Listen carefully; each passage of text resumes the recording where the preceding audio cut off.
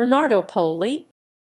Bernardo Poli 27 March 1915 to March 1944 he was killed in action during World War Roman II. Honours Serie A Champion 1939/40 equals equals references equals equals equals